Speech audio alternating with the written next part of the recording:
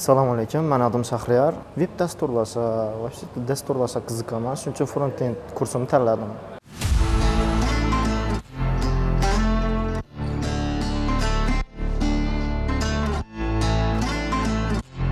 Front end endi dasturlashda boshlang'ich qismi front end deb aytiladi shuning uchun boshdan boshlash uchun front endni tanladik. Keyin backend уже davom etaveradi yana. Bir oyni ichida ko'p narsalarni o'rgandik. dərs tutulaş, sessiya plan işləş, veb sahifəyə rəng bəriş. Dərslərim zor oturadı. Həmməsi rayqlaba, ustazlaram professional dərəcədə, örgətçilərim zor, mənimcə ən yaxşıları söyləyəcəm mənə. Frontenddə 2 ayını oxutdurub, proyekt başlasa boladı. Fəqət proyektni bosh sahifalarni ishlab tursa keyingi darslarni o'zlashtirib yana davom ettirsa bo'ladi proyektni o'zim muzikalniy saytim bor platforma ishlab turibdi.